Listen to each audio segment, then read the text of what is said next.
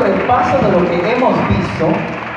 Parejas cabaret, por supuesto con todo su despliegue, con toda esta coreografía llena de color, sabor, movimiento, desplazamientos, alzadas, elevaciones, orlas. Como ya hemos visto también aquí en los grupos de mujeres, vemos cómo ellos hacen la fusión inicial que me encanta además.